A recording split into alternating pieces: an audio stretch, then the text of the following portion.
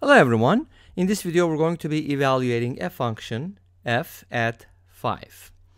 I'll be presenting two methods and let's start with the first one.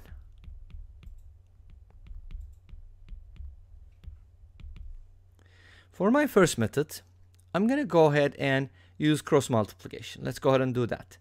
Multiply x by 3f of x, 3x f of x, minus 4x equals 2 times f of x minus 20.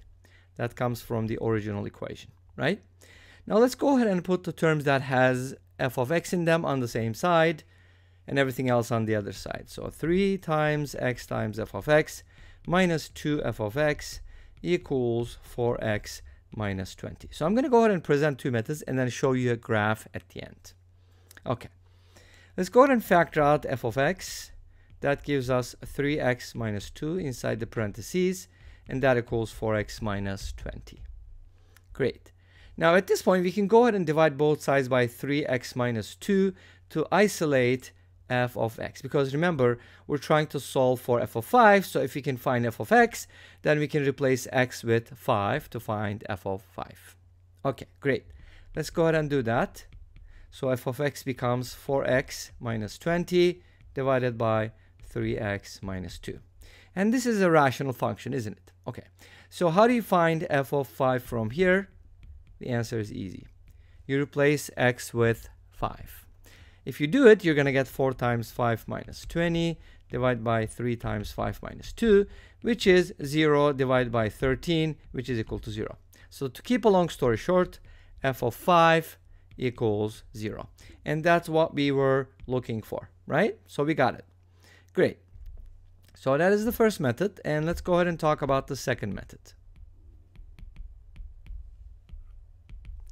So for our second method, let me rewrite the original problem x equals 2 f of x minus 20 divided by 3 times f of x minus 4. Remember, our goal is to find f of 5. So instead of trying to solve for f of x, which obviously is less reasonable, why don't we just replace x with 5 everywhere? Because we're trying to find f of 5, so it would make sense, right? So set x equal to 5 everywhere. So we get 5 equals 2 f of 5 minus 20 divided by 3 f of 5 minus 4.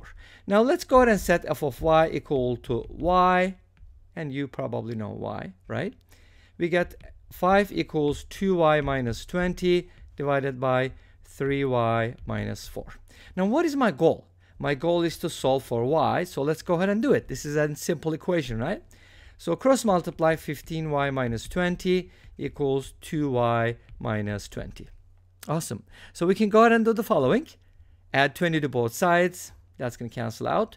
Cancel out the y, you get 15 equals 2. Right? No, no, that's not true. You can't do that. You can't do, you can cancel out the 15. Um, you can cancel out the y because we can't divide both sides by y. What's the reason for that? The reason is the reason is if you do that, that means you're basically you know, dividing both sides by y, but y is equal to 0. Why? y to minimize. So bring the 2y over, you get the following, 15y minus 2y equals 0. And this just means that 13y equals 0, which means y is equal to 0. So you couldn't divide both sides by y. That's how they prove, you know, some stuff that is not actually true.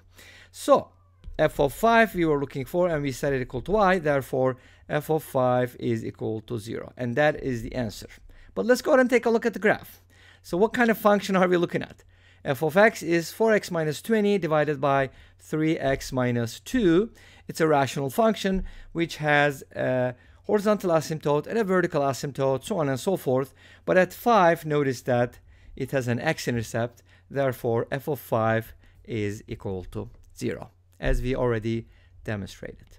And this brings us to the end of this video. Thank you for watching. I hope you enjoyed it. Please let me know. Don't forget to comment, like, and subscribe. I'll see you tomorrow with another video. Until then, be safe, take care, and bye-bye.